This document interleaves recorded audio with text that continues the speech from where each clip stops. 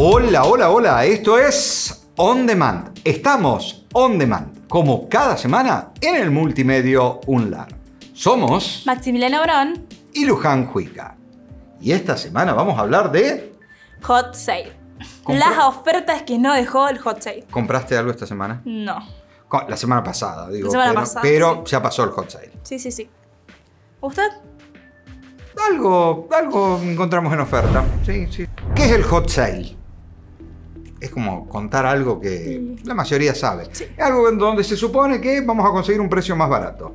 Organizado por la Cámara Argentina de Comercio Electrónico, determinados días establecidos en el año, hot sale. Donde la Cámara lo que propone es que usando este nombre y esta marca puedas vender tus productos a un precio promocional. Como vos dijiste, Maxi, ¿qué hace la CAME? Utiliza esta marca de Hot Sale, Hot Week, y bueno, crea su página donde uno se puede registrar. Y bueno, que esos productos que uno vende ya tengan ese logo de Hot Sale. Y bueno, participar en esta promoción de productos, se puede decir. Si vos tenés tu comercio y querés usar el nombre, el logo, la marca Hot Sale, hay que pagar para eso, ¿sí? Sí. Hay que pagarle a la cámara. sí.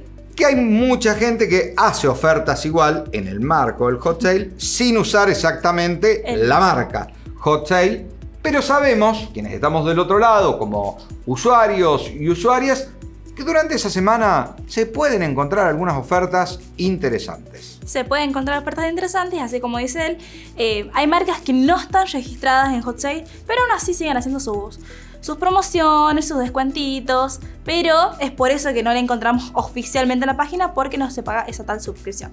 La pregunta es, ¿se vendió más? ¿Anduvo o no anduvo el Sale? Sí, se Usted no, vendió no le más. tiene fe al Sale. No le tenía No, fe. pa- yo no, yo no compré nada, no compré, no estoy en situación económica de, de estar derrochando, pero eh, dicen que sí, se dice que sí. 100% más que el año pasado. Y no es el 100% de inflación, 100% más de productos que el año pasado son los que se han vendido este año.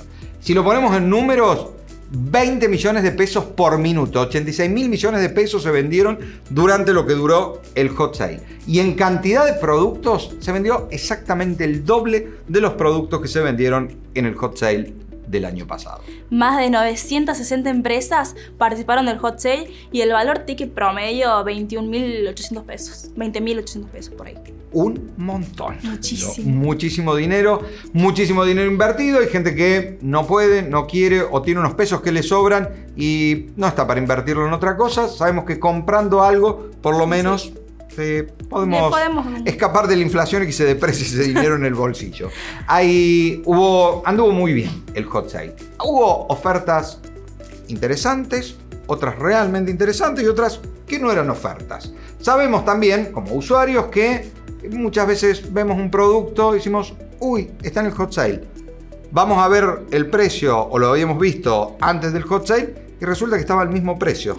Te lo aumentan de precio para decir, uy, lo bajamos por el hot sale. Sin embargo, hay formas de darse cuenta. Tal cual, no todo es color de rosas. A mí me pasó que estaba buscando algunas, algunas, algunos precios de, para pasajes, pero sí, me pasó de que estaba viendo precios, durante unos días aumentaron más, lo bajaron con el hot sale, hubo dos mil pesos ahí que me, me agregaron, pero hay ciertas páginas que nos advierten esto. Una de esas es historial.com.ar. Podemos ir ahí a ver a qué precio estaban antes.